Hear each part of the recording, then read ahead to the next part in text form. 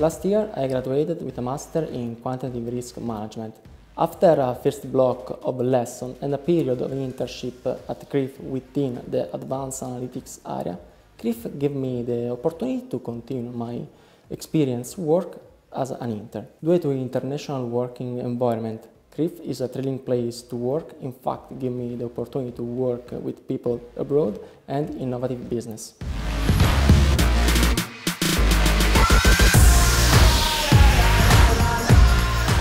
My main activities are focused uh, in international area and including customer relation and development of credit model scoring.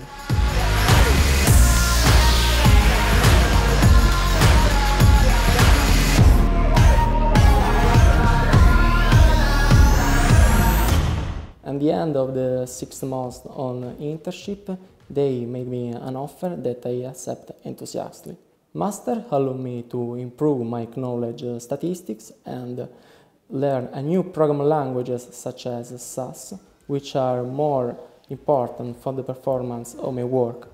And generally speaking, uh, I have uh, definitely become more employable. In fact, in less than a year, I got a job.